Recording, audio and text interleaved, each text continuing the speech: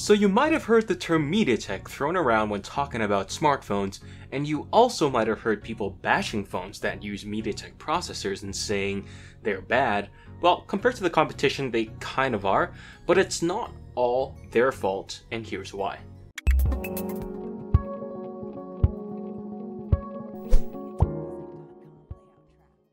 So first of all, who is MediaTek? MediaTek is a Taiwanese company that makes CPUs or SoCs for smartphones, tablets, etc.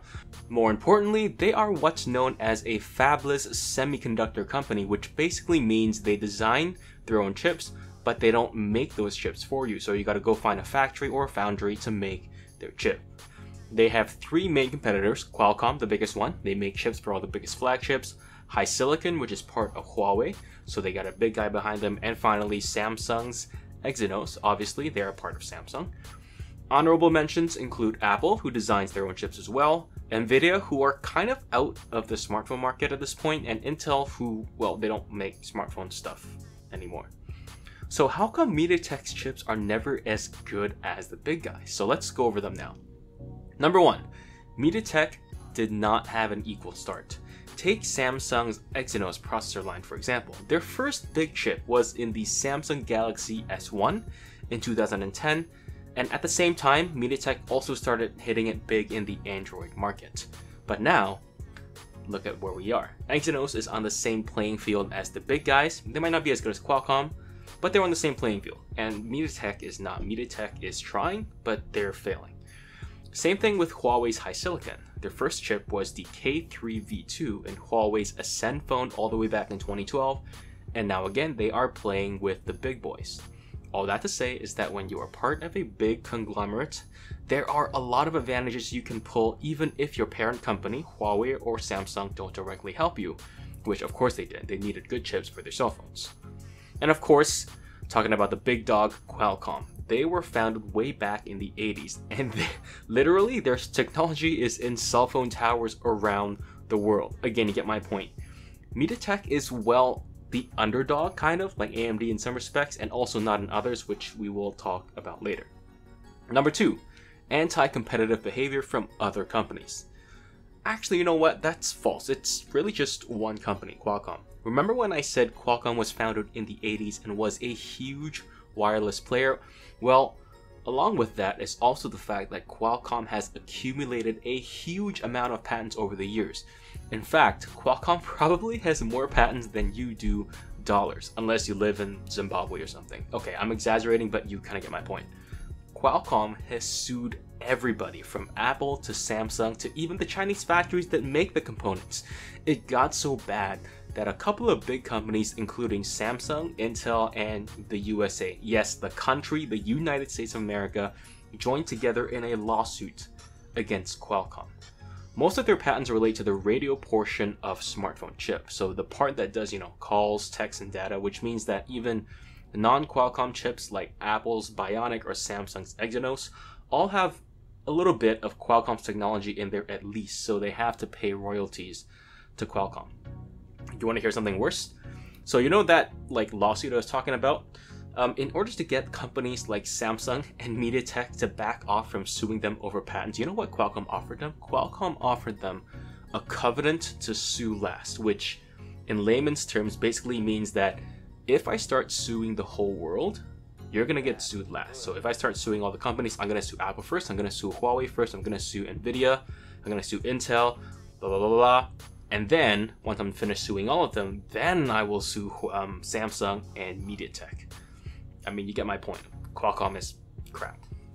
So, Samsung, Huawei, and Apple, these guys have big wallets backing them so they can fight off Qualcomm for a long time. But MediaTek, well, their wallet is a lot smaller, so they have to find alternative routes, which has impacted them negatively in this next topic. Hmm, that's a pretty good segue. Okay, number two. MediaTek's chip design used to suck.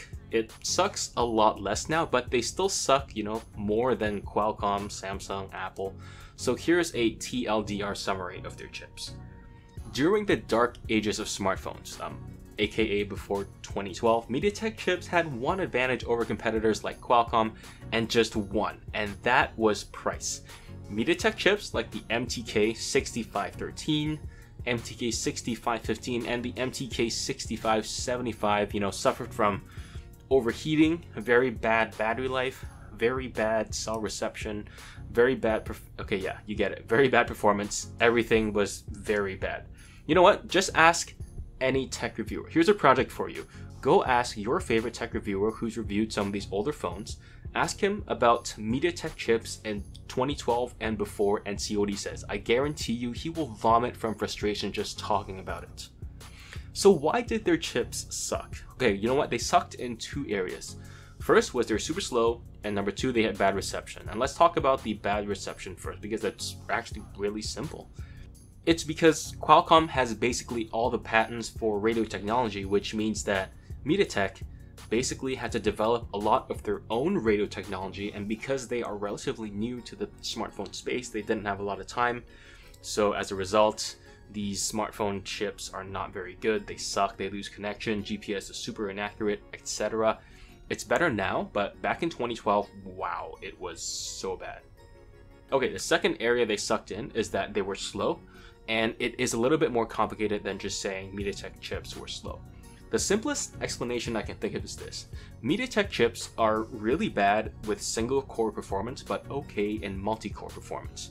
Now, most Android apps, even back in the day, in the dark ages, were designed to work well with more than one core, so multi-cores. Even Android works well with more than one core. However, you know what is one thing that does not work very well with more than one core? That is the user interface, aka when you swipe around your phone. Because if you want a smooth UI experience, you need powerful single thread chips with a nice graphics chip to move the UI along smoothly. And MediaTek usually puts in less powerful graphics chips, and their single core performance was really never that great. Again, this whole slow UI thing was back in the day. It's mostly fine now. For example, the Redmi Note 8, which has two options, the Helio G90 and the Snapdragon 665. With that, all that being said, I do know for a fact that the Helio G90 will, on very rare occasions, stutter here and there more than the Snapdragon version. And it will also overheat a little faster than the Snapdragon when you're talking about gaming. So although MediaTek has caught up quite a bit, they haven't caught up completely.